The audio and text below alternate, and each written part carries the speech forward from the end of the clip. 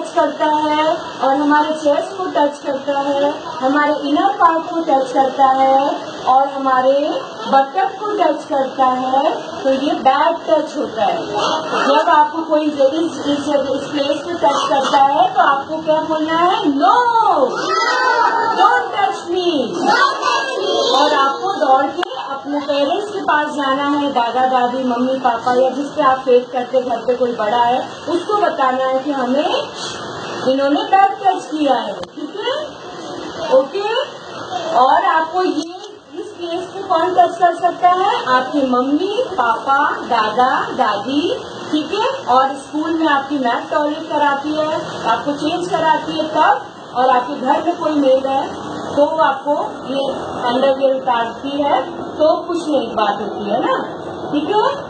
ये होता है बैक टच। अभी हमने आपको बैक टच बताया ना, इनको जब आप बैक टच करते हैं तो ये अपना प्रिकॉशन अपनी सेफ्टी अपने आप कर लेते हैं, है ना? ये क्या करते हैं? बाइक करते हैं, चिल्ला भो वो करते हैं। तो ये अपना प्रिकॉशन कर लेते हैं, है ना? कि मुझे बचाओ। तो हमें पता चल जाता है कि अभी डॉग को कोई हार्म कर रहा है ना और टर्टल्स को भी टर्टल को भी ऐसे ही है वो शेल के अंदर चला जाता है अपनी सेफ्टी के लिए बटरफ्लाई भी क्या करके चली जाती है और आपको अपना प्रिकॉशन कैसे करना है से no don't touch me okay ठीक है आपको बैक टच का बताया मैडम ने आप अपना प्रिकॉशन कैसे करोगे अगर आपको कोई टच करता है बैक टच कैसे बोलोगे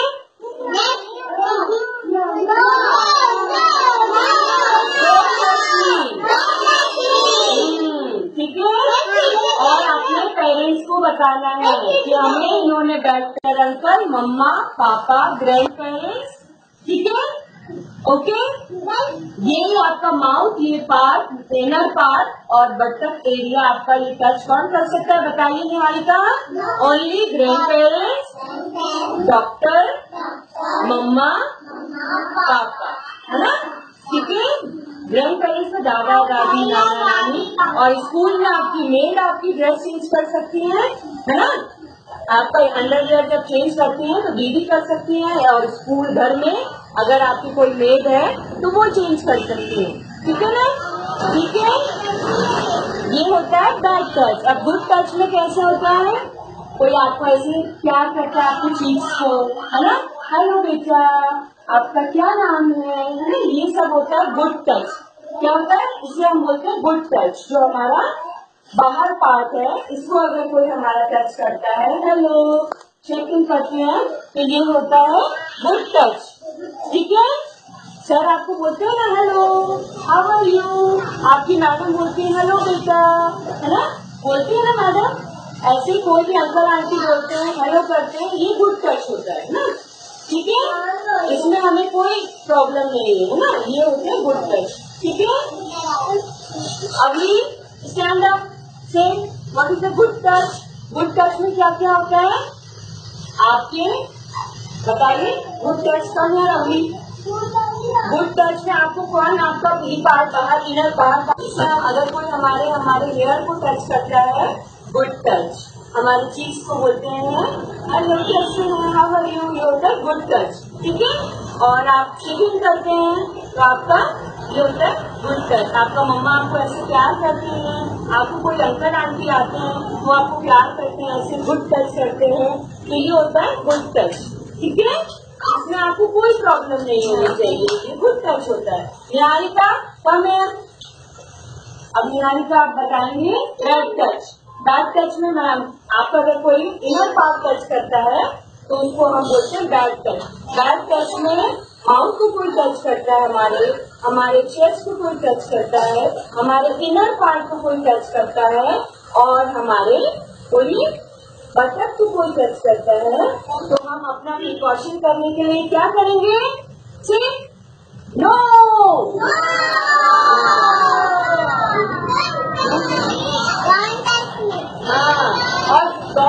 किसके पास जाएँगे आप बताने के लिए? और? ग्रैंड पेरेंट्स के पास।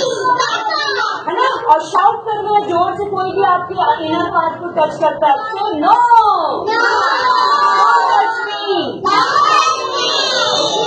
ठीक है? गुड देखिए आपको हमने एनिमल्स का कितना अच्छा एग्ज़ाम्पल दिया है कि ये लोग अपना सेफ्टी कितने अच्छे से कर लेते हैं अपने आप को बचाने के लिए, है ना? और आपको अपने आप को बचाने के लिए क्या करना है? सफल कर सफल क्या करना है आपको? अपनी सेफ्टी के लिए। अगर इनर पार्ट आपका कोई टच करेगा तो आपको अपनी सेफ्टी के लिए क्या करेंगे से नो से नो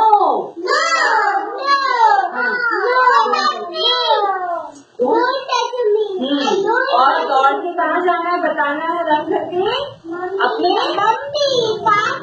हाँ हमें इन्होंने देखिए बैट टच किया है। है ना? ऐसे बताना है ओके? ठीक है? आपको आपको बताया ना इनर पार्ट आपका सिर्फ़ डॉक्टर आंटी अंकल मेड मम्मी पापा ग्रैंड पेरेंट्स टच कर सकते हैं ठीक है? टच बताइए जैसे अभी हमने बारे में क्या बताया?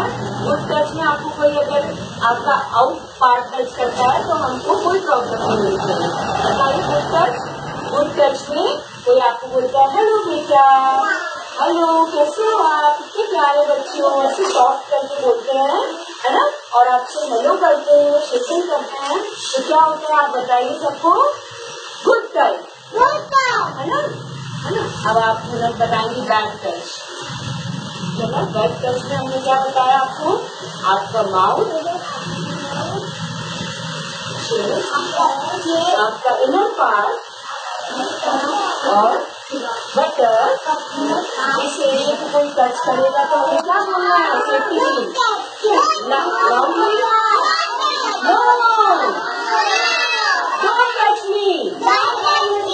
और अपने पेरेंट्स को जाके क्या बताएँगे? पेरेंट्स को अम्मा पापा इन्होंने हमें बैट टच किया है गुड